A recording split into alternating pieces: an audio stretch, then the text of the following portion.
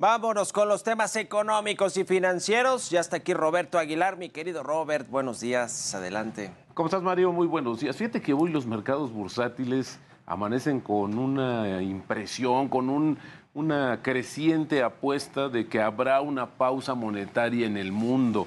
Y esto pues tiene también, involucra a Estados Unidos. Y esto al final del día se viene eh, complementando, Mario, con el inicio de la entrega de reportes del primer trimestre del año comienzan los bancos, han reportado por lo menos tres grandes bancos y han reportado cifras bastante positivas. Y esto también ha disminuido en cierta medida, Mario, la preocupación que hay por los efectos colaterales que podría haber dejado la crisis bancaria reciente en Estados Unidos. También un dato interesante que se da a conocer la, eh, la Agencia Internacional de Energía pues se está advirtiendo por el otro lado, Mario, que esta reciente decisión de la OPEP Plus, esta organización de países productores y exportadores de petróleo, de disminuir también el bombeo, la oferta del petróleo en el mundo, pues podría tener repercusiones justamente en la inflación y en la recuperación del mundo. Dos visiones al mismo tiempo justamente de cómo se ve el escenario económico a nivel global. Y bueno, diría también un, tema importante. Fíjate que ayer el subsecretario de Hacienda, Gabriel Llorio hizo eh, diversas declaraciones, pero una de las más importantes es que Hacienda está estudiando pues perdonar, por así decirlo, el pago de impuestos que hace Pemex justamente al gobierno para que esto le pueda dar un poquito de oxígeno financiero y pague cerca de 6 mil millones de dólares que tiene programados y comprometidos de liquidar este año la petrolera. Así justamente es como lo está visualizando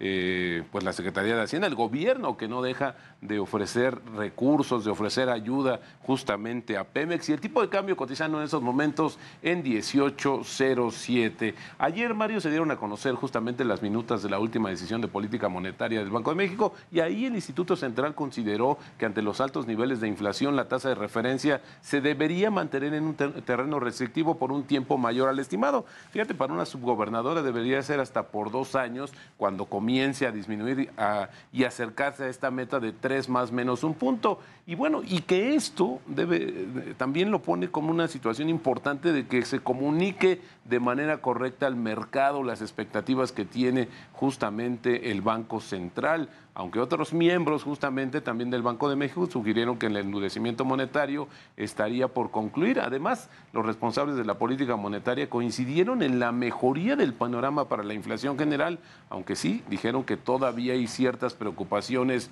sobre la inflación subyacente. Así es que todavía el tema de la inflación, a pesar de que vimos esta disminución en el último reporte, pues sigue eh, afectando y sobre todo sigue contaminando las expectativas. Es decir, vemos que hay un, altamente probable que veamos justamente un incremento adicional en la tasa de referencia en México y que probablemente eh, se mantenga por un tiempo y que después podríamos estar viendo una disminución, así como el resto de los bancos centrales, pero pues todavía no es nada seguro, son expectativas que se han dado a conocer a través justamente de los indicadores recientes. Fíjate que instituciones como BBVA, Banco Santander y Banco of America, pues ya levantaron la mano y se alistan para financiar un acuerdo por 6 mil millones de dólares para la compra del gobierno mexicano de estas 13 centrales eléctricas de Iberdrola.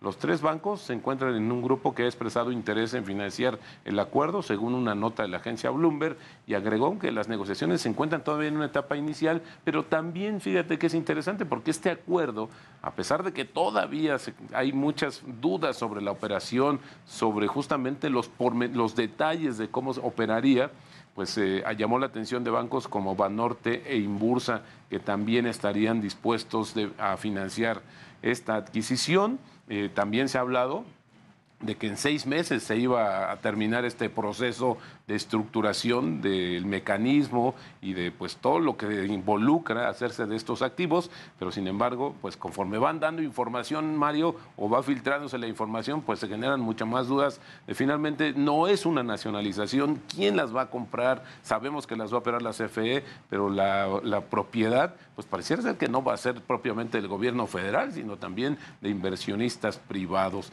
Y fíjate que también rápidamente, Mario, te comento, época de declaraciones de impuestos para personas físicas. Hay que recordar que las ganancias obtenidas por la venta de valores se deben declarar, según el artículo 129 del SAT. Se debe, se debe, pagar un impuesto sobre la renta de 10% sobre estas ganancias. Así es que, bueno, también la inversión bursátil no se escapa del SAT y hay que estar pendientes justamente, como decía, en este periodo de entrega o de nuestra pues justamente este, esta obligación de presentar nuestra declaración de impuestos para personas físicas, Mario. Sin duda, estar muy alertos con el tema del SAT, de los pagos de impuestos, porque además al gobierno le urge tener disponibles eh, esos recursos para pues, financiar el gasto público, los programas sociales, los proyectos de infraestructura, el, pago de la deuda, las pensiones, en fin, todo lo que está en el presupuesto. Oye, Robert, ahora que mencionas el tema de Iberdrola, pues vaya que se ha complicado más y ahora sí que, como diría el clásico, qué necesidad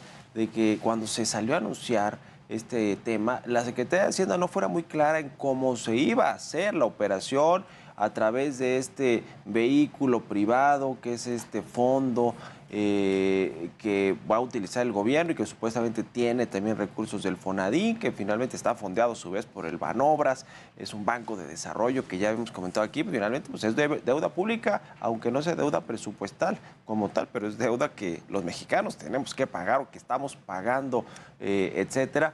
Y ahora pues se habla de que estos bancos grandototes son los que van a financiar parte de este pago de 6 mil millones de dólares a Iberdrola y pues lo van a financiar con sus respectivos intereses, ¿no? Con lo que hacen los bancos, que es el negocio de prestar dinero y de recibir intereses por, por esos eh, préstamos, Robert. Sí, claro, eso va a tener un costo financiero y además el subsecretario Llorio pues descartó que el gobierno vaya a emitir deuda en, fuera de, los, sí. de, de, México en los mercados internacionales para financiar esta adquisición, pero al final con cada declaración que dan, sí efectivamente se está como enredando más este asunto. Al final del día va a tener un costo. Ese costo se va a pagar, esté dentro o fuera del balance del gobierno, eso sí va a contabilizarse. El tema es qué tan factible, qué tan efectivo va a ser esta adquisición de los activos para que se puedan recuperar. El presidente ha dicho que en 10 años se van a recuperar estos 6 mil millones de dólares que invierta el sí. gobierno federal. Así es que, pues ojalá y se dé a conocer un poquito más a detalle. Yo siento, Mario, un poco la percepción personal es que los bancos